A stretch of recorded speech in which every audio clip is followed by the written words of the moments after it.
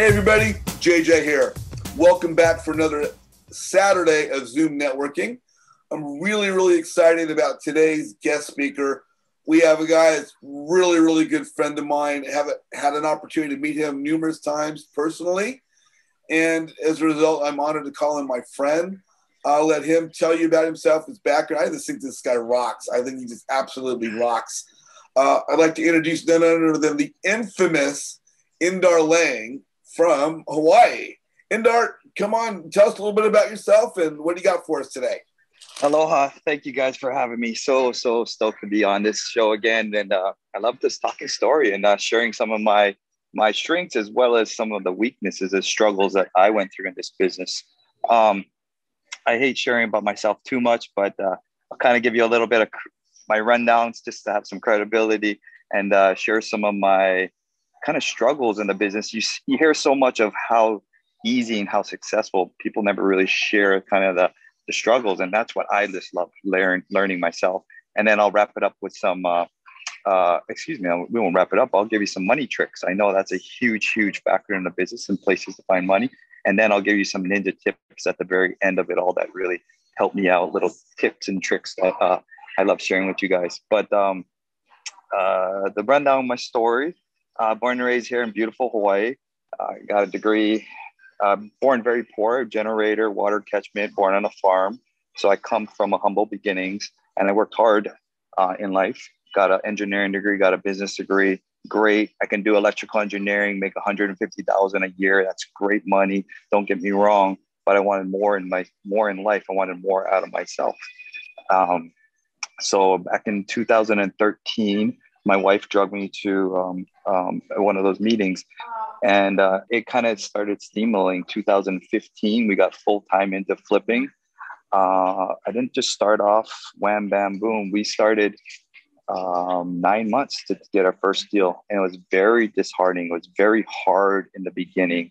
Uh, I've seen so much people come and go in the business, and we had to just kind of pursue. We had a deal two days from closing. This was my first deal, two days from closing, and it fell out of escrow, and it was so disheartening. And most people would have, you know, just ah, the towel kind of thing.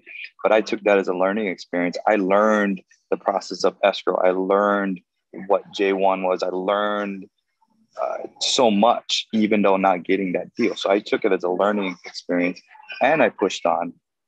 Uh, steamrolling forward, we did our first flip, first flip, bought at 700. We sold for over a million and uh, I kind of got my feet wet. And after you do that first, first deal, the best way to describe it, it's like popping your cherry. It's the best way to describe It's such a hump to get over but once you do that first flip, it really changes your mind, changes your outcome. Um, since then, uh, we've done about 90 flips. My average flips a 700 to a million. So when I say 90, it's a little different from somebody in uh, Ohio where we um, we actually have 16 houses in Ohio, but it's a little different from them doing 90. Uh, we've done about 80 million in buys and sells. Um, we have 45 door rentals. I'm a big advocate for BRRRRs and multifamily BRRRRs. Uh, if you guys want some tricks on that, you know, message on here. I can share how to BRRRR in uh, in multifamily and commercial. Uh, we're a big advocate for that. Now we are where we're at now, 45 doors. We're buying. We have about 12, 15 flips going on here in Hawaii. That's my average. About 12 million is what I'm comfortable with, and I like to hold that right now. Uh, we're in six different states where we're doing a lot of wholetailing, not wholesaling, wholetailing, where we're buying it and putting on the market. Um, so those are really, really exciting. Really excited about those. Um, what else? We're buying a 98 home deal in uh, Missouri. So that's 98 single family homes, some duplexes and so forth. We're doing that one with no money out of our pocket, no private monies.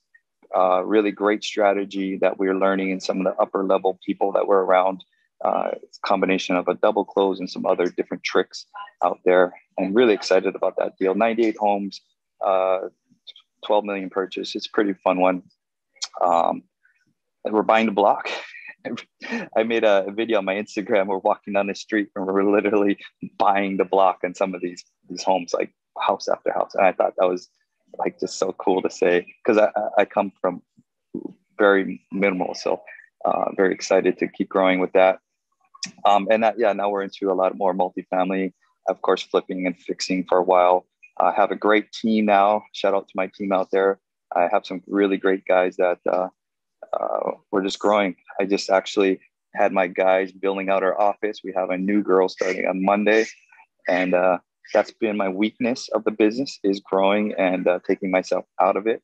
Uh, I have a great friend who mentors kind of with me. Uh, is my mentor, I guess you can say. Uh, he's got, I think, almost a 10 million net worth, and I love just taking advice from him.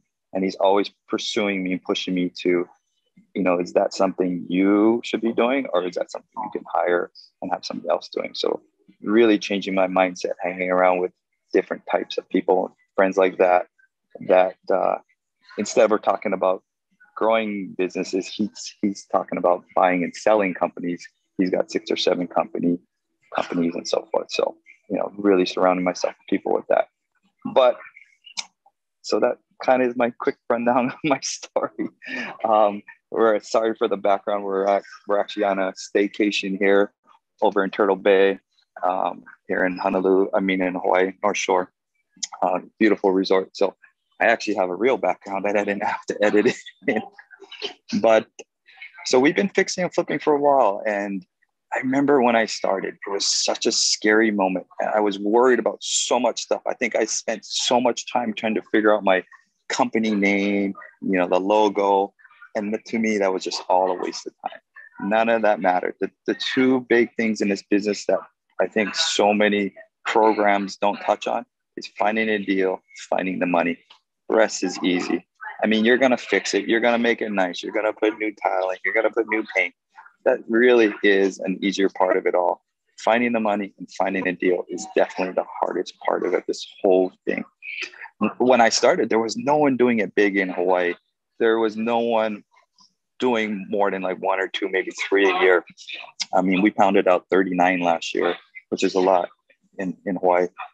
And there was no one doing that much.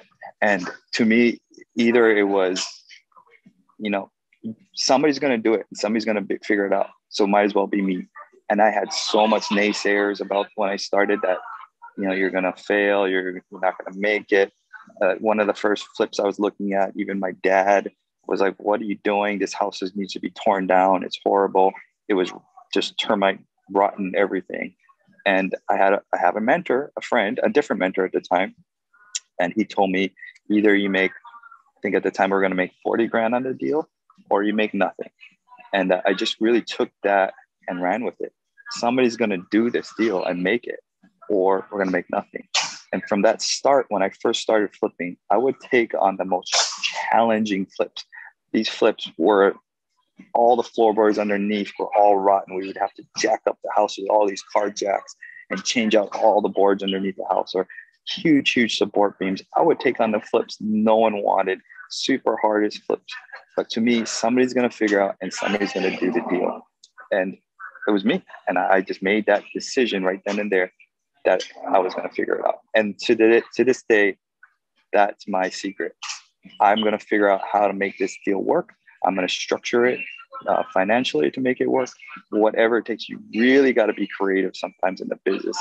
And don't listen to people who have less than you. Big, big thing to write down there. If somebody has less money than you or mediocre, I don't take advice from them. They have to have a net worth or something. And that's just me. Because uh, I learned early on that my family, for example, my dad's well off, you know, you make six figures a year, which is great. Don't get me wrong. But I want to listen to millionaires. Millionaires just have this different mindset about money in general, how to grow it, how to make it, how to use it. And um, so my path changed dramatically for me when I started, uh, you know, being around people, uh, people, successful people. Uh, I'm a member of other groups too, where I'm constantly learning, growing, and being a part of. Um, I, I, don't know if you guys are on BiggerPockets and follow Brandon Turner. I actually have the luxury. We I go to his house and hang out with him on Sunday nights sometimes. and follow me on Instagram. I would love to post all of those sit down meetings, but it's the type of meetings where you don't share. It, it's it's it's a friendship com- camaraderie group, and man, the upper level stuff I learned hanging out with these groups um, is amazing. And um, and I love sharing with all of everybody all the tips, trips, and ticks and ins and out of the business. You know, because to me, when I started, there was no one doing it, and I just want to be that light to help other people out and see that they can do it. They can do it in any market. I mean, our average price point here in Hawaii is a million dollars. If I can do it here in this crazy high end market, you know, anyone could do it. it. It's not.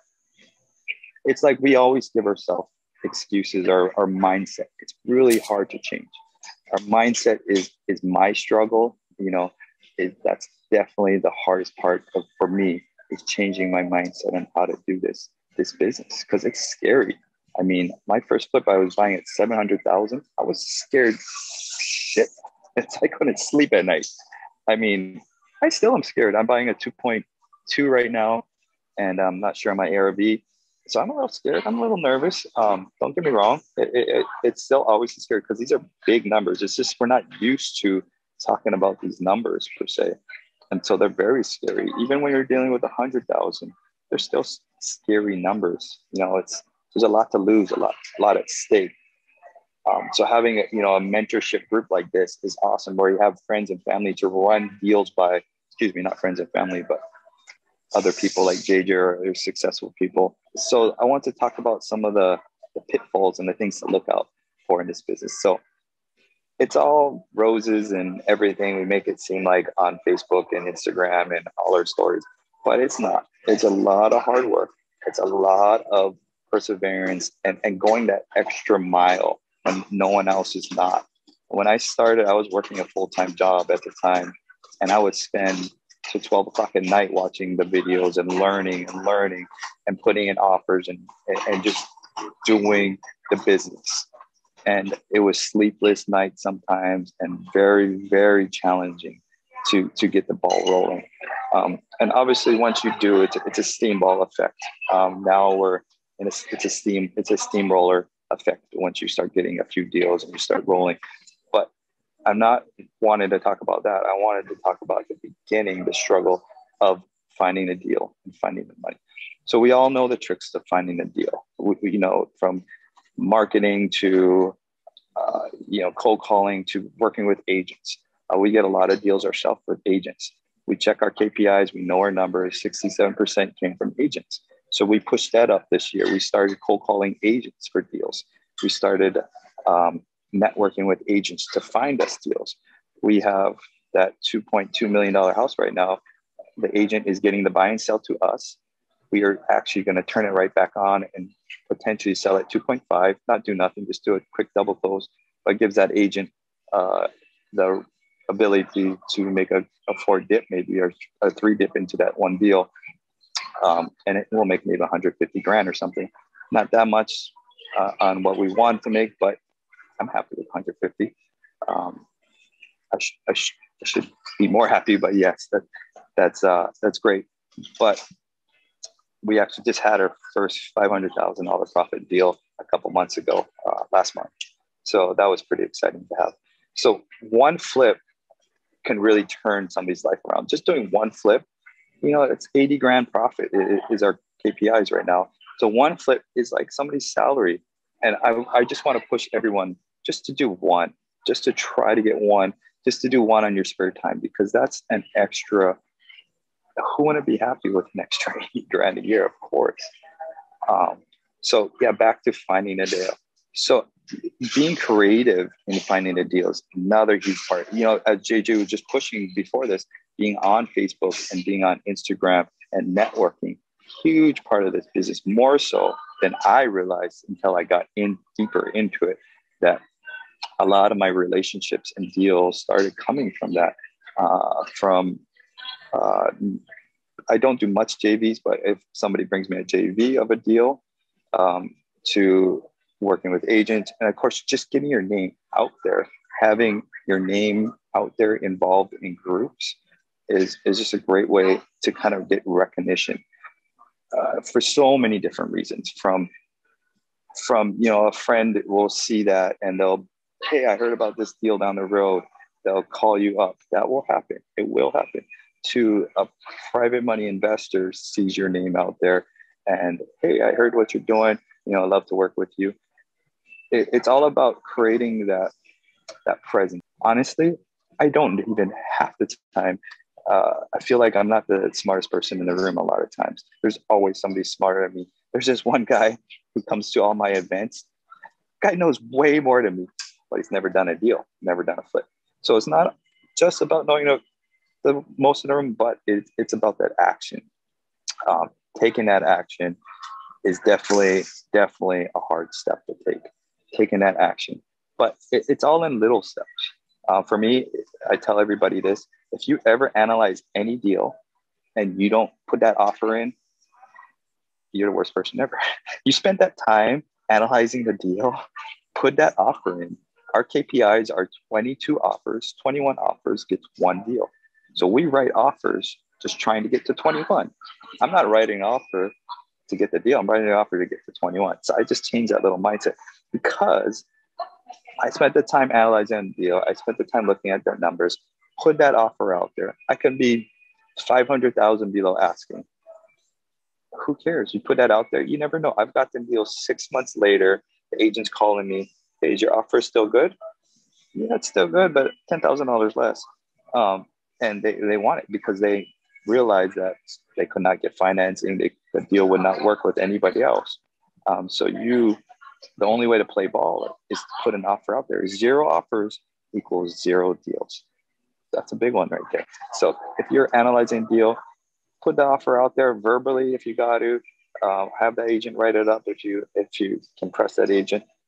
But you won't get deals unless you unless you put offers out there. There's no other way uh, to get deals, to get involved and getting the the momentum. That's all we're looking for. We're just looking for momentum. We're just looking for that shift in life because it's very hard for me to go from what I was comfortable at with a job, with life, with my my set life, to changing to a different type of life.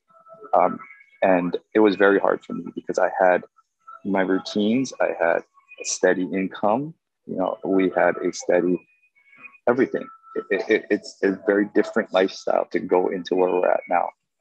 Um, but now we get to enjoy this kind of stuff. I'm staying in a, a thousand dollar night a room, and, and it was a shift because it was hard to get out of my comfort zone. So uh, more tricks to finding deals. We're going to talk about finding deals and finding money, I guess. So finding deals, you know, obviously we know all the norms. We know all the norms, but if you can start learning creative ways to structure deals, deals that wouldn't work, and bringing on somebody else that could help you with that even. So I have a few guys out there in the field who are flippers and they're trying on their own. But if they have a hard deal, they'll bring it to us and I teach them how to structure it. And now they're doing it on their own and they're figuring it out. But there's different creative ways to structure deals to make it work from owner finance to subject to, to, um, you know, reverse mortgage. There's all these different strategies that I didn't know about. And I had to learn myself and the only way I learned was I partnered and I learned. So I'm not saying to, you have to learn that on your own. you know, take a take a mentor, take a partner, take somebody expert in your market, jump on with them. My first flip, I was scared. At seven hundred thousand purchase, couldn't even sleep. So I brought in another person, um, and I partnered with them. So what? I gave up half the deal. I got to learn. I got to do do the deal. Long story short, his family moved away. He was supposed to find the hard money of the deal, um, and none of that happened. He left. I ended up doing the whole deal myself. Still honored the partnership. I still gave them, uh, still gave them our, our agreement half. I didn't even get that JV signed, but it's all about relationships. So uh, relationships are huge. Even more so, I want to stress this one. Once you guys start getting into business, is to always pay back your private money lenders. There's some people out there I've heard that don't want to pay back their investors and so forth. And we've had some bad deals. This is not all rainbows and raindrops and lollipops. We've had an eighty thousand dollar loss. We've had some deals that uh, went way too long in overtime, and uh, you know, you just got to keep explaining what's happening in that situation and make sure. Number one thing is we always pay back our investors because your name is important, especially here in Hawaii. So we can do business bigger, more and more. So you just got to suck it up, buttercup, and move on kind of thing. Um, there's more deals out there. that third deal ever, we lost 80 grand. And I, that was a kick in the balls. I felt that for a year. Believe me, I was 80 grand. Um, but that next deal we made 90 and we just moved on. And you've got to keep that that momentum, that forward, that forward press in it all. So let's kind of jump into finding money. This is definitely the hardest part of the deal for me when I started. It, it was such a hang up because I didn't know how or know how to do it. So of course, so when I first started, hard money wasn't readily available like it is now. Hard money would only lend to you unless you had deals under your belt. They were at 12 to 15% rates um, was the norm back then, high points, high so forth. And they would only lend unless you had a deal. So for us, finding hard money was was a little struggle. We partnered with somebody. I used to make fake JV agreements with other investors just so they can get hard money lenders to, to work with them. Um, so, you know, being creative and, in working with hard money. Now, if you guys can't find a hard money lender, go on to what I did actually. We just uh, marched in COVID when every hard money lender was shutting down, wouldn't work with anybody. I went into BiggerPockets and I and I had it, had four deals lined up all right then, and I BCC'd about 30 something hard money lenders because my main one, uh, lending one, is who I was primary with. They shut down. They weren't lending anyone. I still today BCC all my hard money investors. Uh, if I got if I got a great deal, I'll send a BCC. If you guys know how to do that in your email, it's just a blind carbon card copy. It's a way to send out a, a message, an email to everybody without the other people knowing. So I'll send out that same deal. And all you got to send to a hard money investor is three numbers your ARV, your rehab, and your uh, purchase price. Send it out to them, uh, address, of course, and maybe a little couple sentences about the deal. You know, ask the kind of key points are your LTV, loan to value, uh, and your interest rate and your points. Um, little couple tidbits on that. Uh, LTV should be 80 to 90%. They'll, they'll say 90% all day, but a lot of times it comes down a little lower when it's based upon appraised values. When you hear points more than one, more than two, if it's ever two or more, uh, run. That normally would be a broker. That'd be somebody who is brokering it for you, middlemaning it, and going to the source. So me, I like to just go straight to the source for money. I like to go. Uh, I've called up BlackRock Group. I've called up uh, straight to the hedge funds, and I try and get money directly from them. Uh, it's hard to do. Takes a lot of work. You got to have a big play to work with them. But I like to cut out all the middlemen, and I'll and I have great friends here, and I'd love to work with them, hard money lenders. But it's nothing personal. It's just whoever has the best rates. Um, you know, this is money that's going to go to my family. So I, I appreciate every dollar because that's a dollar away from my kid's mouth. That's a that's a dollar away from my son. So I fight for every dollar. Uh, I just grew up like that, I guess. So working with hard money, make sure you understand that. You know, send a deal out to all of them. Find the best lowest interest rate. Um, you want to be around an eight percent. You know, we're in the sevens now uh, for interest rates. If you're at nine, it's it's fine. Um, you know, a point or two look for, and then of course look for your LTV. That's kind of your most important things when you're kind of shopping around to a hard money lender. Make sure you understand that and look at that. If you're in a big market like ours, make sure you understand a couple other little factors. This is a big one. It's called Dutch interest. If your hard money lender is going to charge you interest for your rehab budgets up front or throughout the loan, this could be a matter of ten to twenty thousand dollars. So that's a little thing to understand is are they going to charge you interest on, you know, we have a rehab budget of 400,000 right now. If they charge me interest on that up front compared to later on, you know, that's a big difference on who I'll decide to work with. Hard money all day long is easy to fund, find from our, you know, we're doing these $12 million purchases. They're, it's easy to fund deals because they're going to fund on the deal. If you got a deal lenders will fund on the deal. So that's the first first thing is make sure it's a deal, of course. They don't care about you, they care about the deal. And that's why we use hard money. They're called uh, non-recourse loans, meaning they're not caring about us per se so much. You gotta have a good credit score, that's about it. But they care about the deal. They want to make sure you have a deal. Um, they want to make sure your numbers look good, your contractor numbers look good, and so forth. And then you just got to press the paperwork through and get the deal closed. Um, uh, hard money lenders, if you guys want to write these down, uh, I like, um, of course, Civic's been around for every, any, for everybody. Um, I would stay away from them at this point. They've been really difficult to work with, uh, a lot harder. Um, check out uh, LendingHome is huge. Uh, Anchor is great. They're kind of busy right now. Anchor loans, they're just desktop appraisal. They don't require they don't require a appraisal up front. Uh, uh, what is our Finances of America are great, um, and Temple Valley is great. I was with uh, Temple uh, LendingOne in Florida, but uh, I've since left from them. I was their largest client. They love to work with us because the the volume I give them, so I kind of throw my weight around, and um, you know use that. You know, throw your weight around when you're working with these lenders.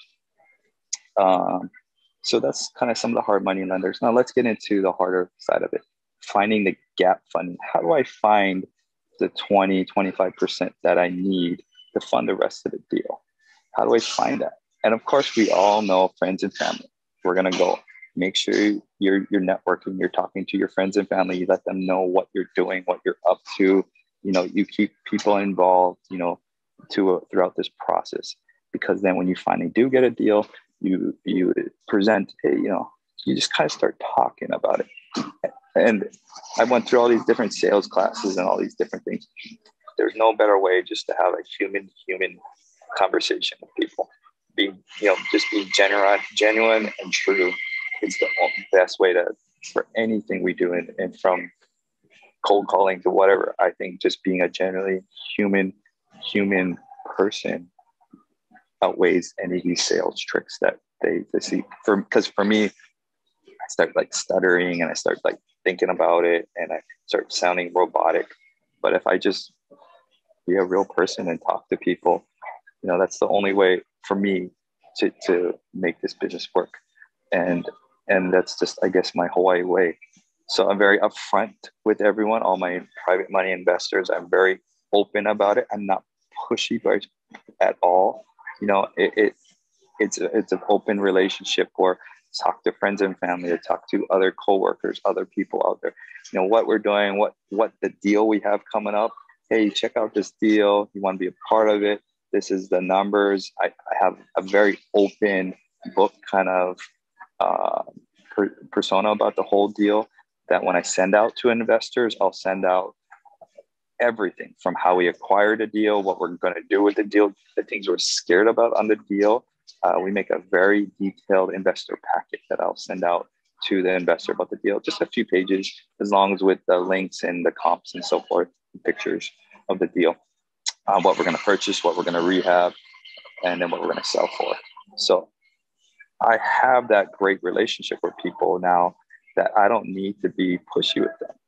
And um, if you guys know Jason Bible on here, he, he's a great mentor, a friend of mine. He's done thousands of flips, and he actually has uh, like pages of investors, and he tells them, "Hey, where do you want to be on, on you know, in my investor group? Where do you want to be? I have the next deal coming up. Do you want to be at the 10%, 8%, 5%, 4%. So that's a good strategy I would recommend to use. And once you start building up more and more investors, um, I probably should do that, but I just I just do 12% across the board. I'm actually pretty high.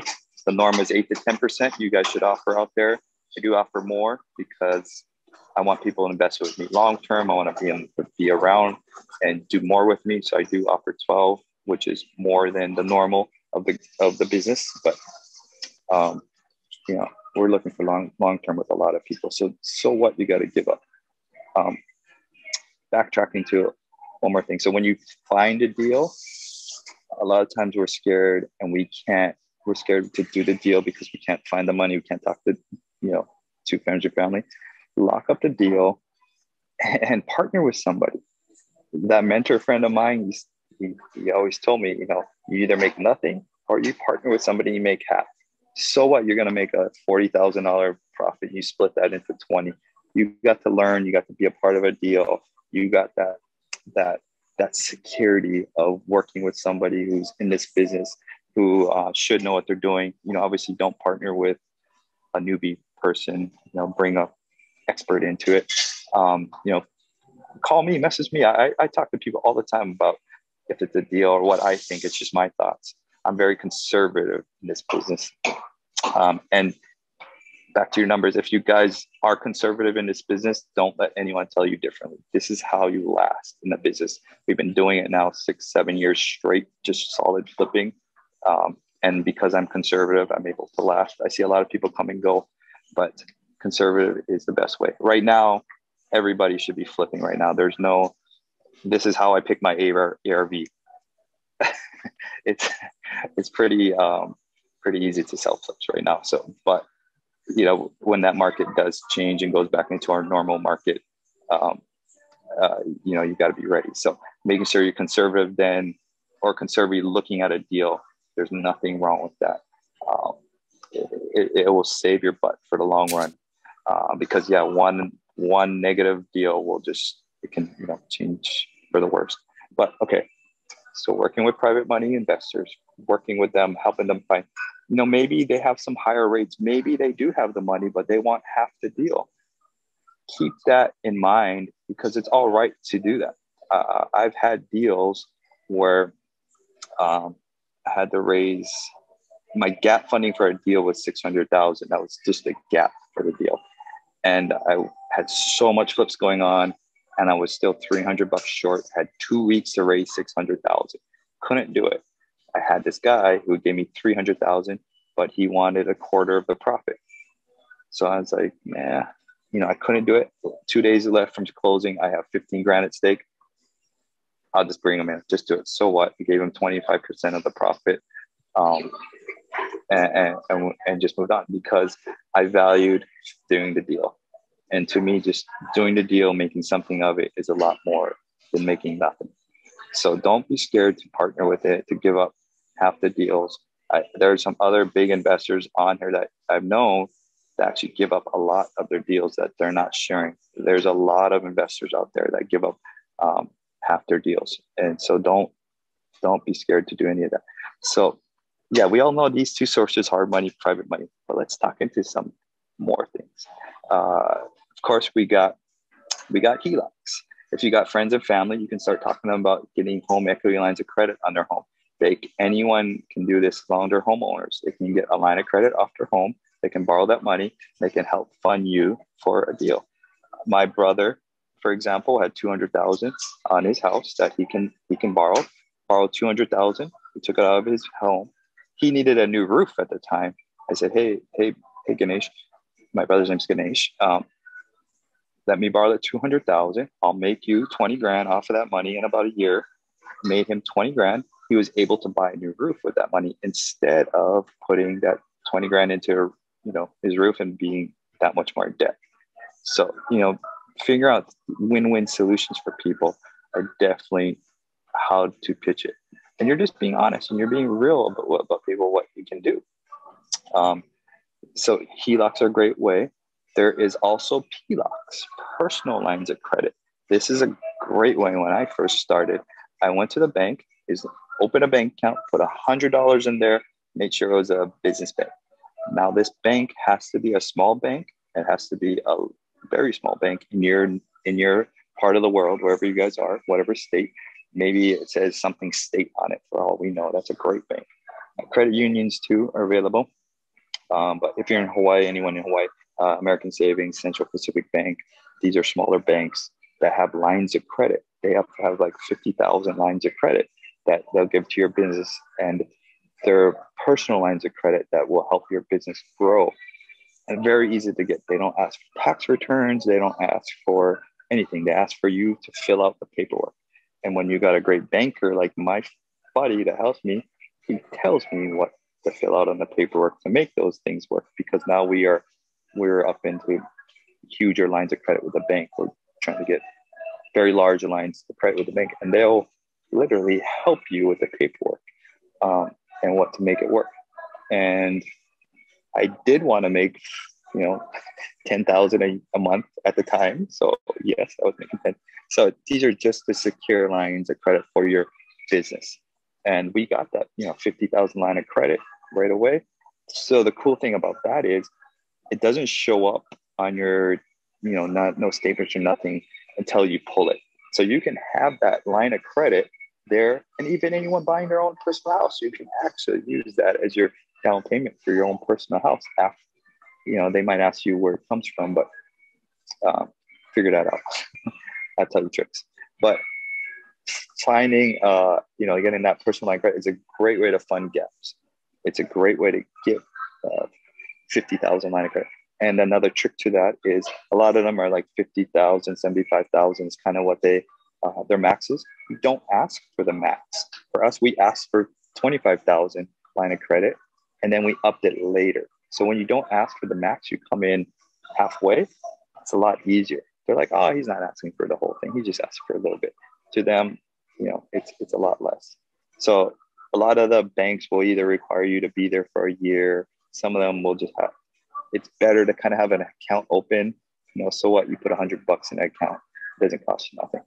Um, it's a great, great way to. It does take a little time. You know, working with banks is not the quickest, uh, quickest thing ever, but it's just a great way to get that open, get that ready, available to use it for something. And yes, you're going to have to pay interest on it. Uh, at the time, it was 2%. I think they're up to uh, 4 or 5%, something like that. But if that can generate, you know, a ton of money, then do it. You know, I'm not saying to use that to go buy a TV or a car. I'm saying to use it to generate you money. Just like the HELOC. I'm not saying to use that to buy a TV or a car. Use that to generate money. There should be no other reason you should be using that. Um, you know, be very tactful on that. I want to throw that disclaimer out there. So that's personal lines of credit. Now let's get into more. So credit cards. There's a credit card game out there you can play. Uh, Fortune Builder used to have a company they would refer to you actually, and they would help you get all the best credit cards lines available. There's a ton of companies out there, but for free, I just went on to um, the Points Guy.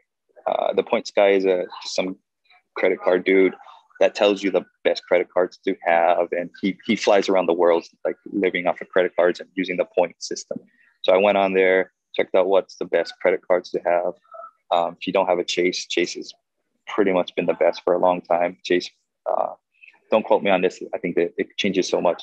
Uh, Chase Ink and Chase uh, uh, uh, Sapphire are kind of the two best to have credit cards. And you know, you just start getting these lines of credit I get I have like 10 to 15 credit cards right now that I used on my flips. I use that for my for my flip budget. You know, we have 150,000 line of credit with different credit cards. So that was my rehab budget that, that I used. Some of the credit cards are no interest, no points uh, for 15 months, whatever it may be. So that's free money for 15 months.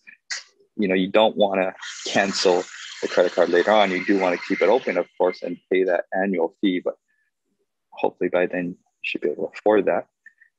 Um, and you'll hear later, I'm actually on, you know, I'm talking about credit cards. You'll hear a lot of people talking about your credit score, of course, and trying to have this perfect credit score. Um, that's wrong to me. You're not trying to have a perfect credit score. You're trying to use your debt and uh, excuse me your credit cards to make you money so ideally you actually want to have a credit score around the 730 760 because you're using your credit score. You're not paying everything off and not using it. You're using it to make you money. You shouldn't be again buying tvs cars and stupid stuff. You're using this to make you money. So as long as you're using your credit cards and things properly to make you money yes your, your credit score won't be in the 800s mine fluctuates. I am at a 600 last month. I'm at 800 this month because I use my credit, my, my credit to, to do things with. And that's the point of credit is to be used, not to be touched. And this is just my opinion, guys. You know, if you guys have your own opinion, by all means. Um, my opinion nowadays is to make money work for you. The old school way was to, you know, buy a house, pay it off, and buy a house and pay off. Now, my way is to leverage money and make it work. So this is just my opinion, and I think it's the new age of society today. But so credit card game, you can get all these credit cards, you can get these lines of credit, and uh, there's a website called Plastiq, P L A S T I Q. It's a plastic with a Q, plastic. and you can use that website to take cash out of your credit card. So, for example, my Chase uh, Chase Ink I have twenty five thousand. I can use Plastiq. It costs three percent. There is a charge. My credit card company will charge me my fifteen percent, but, but now I can take out twenty thousand in cash to to do a deal or to use it in a rehab if I need that cash. Um, you know, to put it as your deposit. Um, it's just resources to have available to get money. Now we we are leveraging money. This is what we do. We're experts at leveraging money to make money. You know, we are leveraging bank money. We are leveraging hard money. We're leveraging private money to make us more money. So this is just another resource to have in the back of your mindset to work with credit cards. Credit cards are, you know, out there. Uh, so just have them ready, available. You know, it doesn't, I apply all the time. That's the one down. So I have like 50, no, 35 pull credit pulls on my credit. You know, does affect your score, but not too bad. I'm at 806. So that's not the bad, worst part. Um, so, you know, credit card is a great game. Um, uh, what's another good? Uh, of course, go on to Points Guy. He'll tell you the, the good. Um, American Express and all them, of course, have some good ones too. You can also do checks. Some of them have checks where you can actually use write checks and give them to your contractor. I've done that too. Um, just to have those resources available. I'm not saying you have to use them, just have them available. Uh, next, let's get even more complicated. So we'll leave the last part. Well, when somebody, you're going to start getting a lot of emails from people about, hey, we'll give you money if you guys aren't already. And I'm always very wary of it. It's one of those industries where there's so much scams out there. There's so much like who to believe and who not to believe. I'm sure you guys know the feeling. Like, is this a scam? You know, they're, they're calling me. Uh, I'll give you cash in two days. Like, yeah, go mess, go mess off. Like, yeah, stop calling me. So, who not to believe and who not to believe. Here's one thing to think about. If they ever talk about factor rates, factor rates are very expensive money. I've tried it. I've tried it in a pinch, and uh, they're talking about factor rates, and they'll talk like 1.25 or whatever it may be. They're, if they ever talk about factor rates, just run. uh, money is available right now, very easy to get. Uh, funds are open, money is available. Um, so just run if you ever hear that.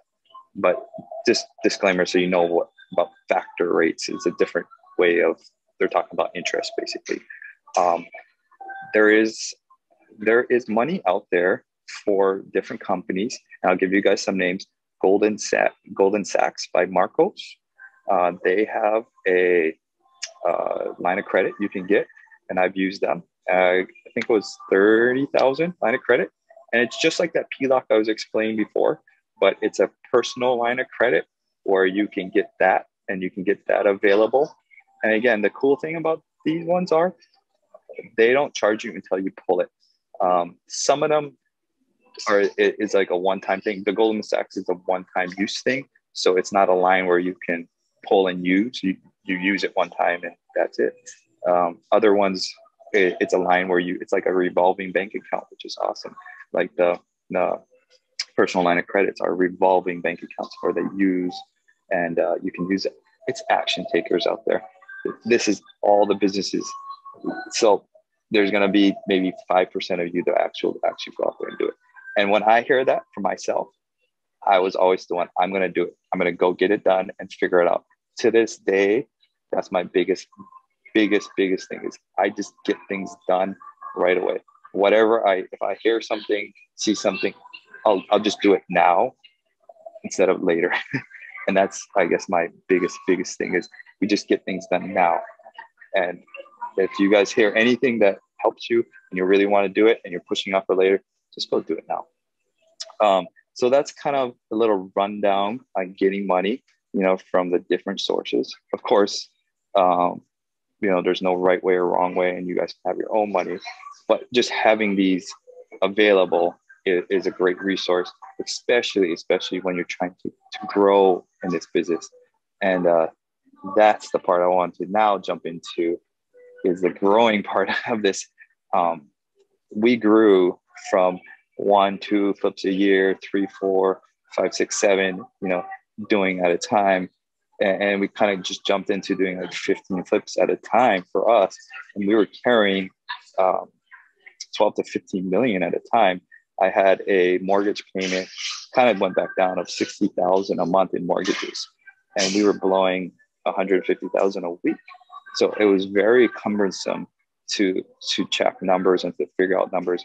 And uh, huge some learning key points that I learned at the beginning was um, here's some little more advanced stuff, but for you guys out there who's done some flips, is uh, when you give a rehab budget to your uh, hard money lender, you're going to give them a rehab budget of say a hundred thousand. And I was very honest at the time. I said, okay, you know, our windows would cost five grand to install. Our demo was three grand, and our permits were this. So you have to kind of break it down and give it to your to your hard money lender, and then you get uh, pulls as you do work. So your hard money lender doesn't give that that rehab budget to you up front. They give you in draws and pulls as you do work. So you have to do work. You got to then get an inspector out there and they inspect it and then they release it. So it's never like right away. A lot of times in the construction world, a lot of the money does go in up front. So a lot of times it doesn't look like a lot of work is done, but you probably just blew through 30 grand like no other. So for us, that was fine when we are doing one and two. But when you're multiplying that in 15 projects, and I didn't factor in that I had to float 30 grand out there, I squeezed my butt pretty hard at that those months. So, you know, factoring in that you have to have money out there. So two things changed for us. One, our hard money lender told us front load it. You guys will hear that sometimes. So front loading a deal is okay, my demo, the things I'm doing up front, my demo, uh, my demo is 15,000, my permits are 10,000, my windows installs are 20,000. So the items I would do up front, I would front load into being more cost, more costly. So I can get more of the money up front and use it then and not have to carry that as much, especially when you're 30 grand times 15 and you didn't factor into that money. So those are two big, big tips I want to put out there for anyone who's been doing deals for a while and been around this business is to front load and to um, you know factor in that cost. So you know factoring in those, take a quarter or even a third for your rehab. Make sure you have that into your gap funding and and all those interest payments for the uh, two million dollar property. You know we're going to have a mortgage payment of uh, 15, probably 15,000 a month. So if that carries on 10, 15 months, we want to make sure we covered that interest payments as well in there. So in a smaller deal, these things are not that big deal, but you do want to cover it, make sure it's in there and just have it in your thought process to think about. Um, because I'm a penny pincher as you guys should be and fighting for every dollar make sure you understand every dollar. So even in a hundred thousand dollar deal, which we do, we we are. I just bought a ten thousand dollar house in Ohio. Should have put it on a credit card. That would have been cool, right? But I bought a ten thousand dollar house that we are uh, selling at forty five thousand. Um, so the we understand every little number, and we I think it's important to do that. Um, to understand every, every little number of the deal and make sure that you're the expert of the deal. Um, little ninja tip here too be that expert of that deal. So any deal that I'm looking at, I am the expert. I know what's sold in that neighborhood. I know what's withdrawn, what's what's active, and I I want to be that expert. So say I'm selling it, an agent comes to me. I'm not an agent, by the way. An agent comes to me. I want to know what withdrawn, what happened, what, what's active. Maybe I'm buying that deal and I got investors that are going to invest with me. They looked up something in that neighborhood and they're asking me, you just want to be that expert on every deal because it's nobody else's money at stake but it's your money. So when it's my money at stake, I want to make sure I am the expert in that deal. I want to understand that neighborhood that street, what's sold, what's bought. You guys can. Zillow, you can figure it out. You can do some research. I, I look up Zillow. Whoever says Zillow is horrible, I look it up. It's it's a great resource to fill your head with knowledge. I look up Zillow. I look up Redfin um, for our mainland deals that we're in six states right now flipping.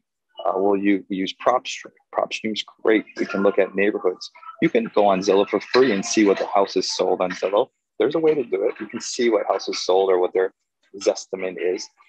And then I'll look at tax appraised values and, of course, comps. Because again, this is my money at stake, no one else's. So if this deal goes south, the realtor doesn't lose, uh, whoever doesn't lose, I lose. And I've had that a lot of times where a realtor would tell me the ARV is, you know, whatever number, and they're way off because they were looking at the house on the ocean and our house is three houses back. They didn't, they didn't check that. Or they're, you know, oh, oh, we could we could push to that. Right now, yes, you can push to things, but you know, even 2018, you couldn't do that kind of stuff. So, you know, just knowing the market and understanding what's going on, it's an hour of research. Take the time, you know, and you weigh out all those different information you're receiving in your head. And I'm constantly asking and knowing about. Uh, again, we're in six different states, and I have a team now just totally running that. But I'm constantly just asking them about the numbers of the deal, where the numbers are at. Um, not so much of the deal itself. I just want to know the numbers. So I um, just to the bone really want to press, press that one to be the expert. But let me just talk about my list of uh, ninja tricks that I love to share with you guys that I've just learned throughout the business. So here's a here's a big one is to hire, especially on a big project. If you guys are doing any high end type of projects, to hire home inspection at the end of your contractor's job, not when you're selling it, but to hire a contractor, a uh, home inspection, excuse me, um, to give them a punch list. So a home inspector is going to come through. They're going to put on that suit. They're going to climb in that attic. They're going to get the flashlight out. I'm not going to do all that. Yes, I walk around and I'm nitpicky, of course, but the home inspector, he's going to give that 100 page report to you. It's going to cost you, it's 700 maybe on a high end house for us. Um, it will cost it. That 700, even though I'm thinking 700, it's really saving me thousands actually when I sell a $3 million house, that investor dude is very savvy dude. There's no reason that guy is a millionaire, not for being a slump. He's a millionaire because he's a savvy dude. So he's going to ask for credit the second he sees any little thing. So if I just caught every little thing, and there might be something I missed, the home inspector misses like a, a paint chip or something like that. But as long as you caught those major water leaks, those major electrical, you you really just prevented anything to be brought up to him. So I hired that at home inspection. Give me that 100 page report. Here you go, contractor. This is your final punch list. You make sure everything is done before I pay you. Uh, and then that way you just cut everything. It's worth the 300, 400 bucks, every penny of it. Um, especially if you're doing, I would recommend anything over 500,000. Um, we don't have any houses like that here in Hawaii under 500,000. But uh, when we do condos and stuff like that, um, definitely worth to, to hire a home inspector and to give it give it to them. Um, that's a huge, huge one that really helps. Uh, here's another one. So when we sell a home, and any agents out there, this is a great one too to uh, see if your clients will offer. When we sell a home, we have we know our numbers. We have a daily holding cost. I am paying hard money. I'm paying investors um, 300 maybe $500 a day it costs me to carry a house no matter what if that house is sitting there doing nothing on a sunday right today saturday i have guys working but tomorrow when when most of the guys are not working it's costing me most of my house is 300 bucks a day it's costing me just to sit so i know my carrying costs so when i sell a house i will always ask the sellers hey I'll give you a 50, a 100. I normally use a $100 credit to close a day faster. So every day you close faster, I'll give you a 100 bucks. Now that will push them to push their lender to close faster. And I'm saving money. So I'm saving money by clo- having that deal close sooner when I give them a credit to, to close sooner. So you your your mindset is like, oh, I'm giving up a hundred bucks. I'm not giving up a hundred bucks. I'm really winning over, you know, whatever, hundred minus three hundred, you know, two hundred bucks. So, you know, that's a great little tip. To, and maybe a, a smaller in home, fifty bucks. But and we, and for the agents out there asking how to do it, we actually do it outside of escrow. We'll just tell them verbally, and then we'll credit them at the close. So you don't have to do it in escrow. But it's a great tip to help push a deal close faster. And we all want it close faster. They want to move into the house faster. You want to get out of the house faster. It's always the, the, the lender that's taking so long. So it'll give them incentive to push and get all their paperwork into the lenders and, and to get it closed. Um, so that's a huge, huge one that I love sharing about. Um, we're all scared in this business. So take the time and educate yourself on every trait that you do, everything. Uh, you know, I learn, I learn about the different traits. Um, I, I actually like construction myself. I have a contractor's license. So I learn a little bit about every trait. And that way I can talk to a contractor. And um, forgive me, any women out there, but contractors will tend to try and, I'm just generalizing here, they do it to my mom. they will eat you alive trying to push the numbers. So if you can get a little bit of understanding, and the best way, if you're not going to do the work, is the reason you know why we get three bids out there because I'll use that first bid and I'll use everything he says to talk to the second guy, to talk to the third guy. I've used contractors that came in before and said, Hey, this is a great idea. We should do this to the house. But his bid was super high. His bid was super high, but now he just gave me a great idea to use. So a lot of times, you know, getting those three bids, getting to understand uh, the trade that you're working with is is worth it. It'll save your it'll save you money in, in the long run, and to understand the lingo, the words to use, um, is worth it. Um, even real estate in general, I feel like real estate is its whole language. It's it's it's, it's a new language, and for me, it was. You know, escrow and closing docs and SDR, whatever. It's all a new lingo, and it still is today. Um, there's always abbreviations that you're supposed to know. And I remember when I was ARV was a big one when I started. I was like, what ARV? Um, but you know, there's so much little acronyms that you use, and it's it's a new word. So learning the lingo of contractors in this deal is definitely uh, about it, uh, a part part part of it. But let me just wrap up here. We talked about front loading, talked about uh, you know, no offers equals no deals. So put in offers, hire that inspector. Uh, credit card game was some part and part of it, this whole deal. Um, learning about trades, um, network, network, network, and do some more networking. network, network, and do more networking. is part of it all. And then uh, I want to wrap it up with know what your time is worth. Um, I used to want to make a million dollars a year we've we've done that now, and I want to make uh, I want to have a net worth, and we'll figure out my net worth is now the, the coolest part of it all, building our networks. So with that said, what is my time worth? Is my time worth? I actually like installing grass. I like getting out there and doing actually the landscaping.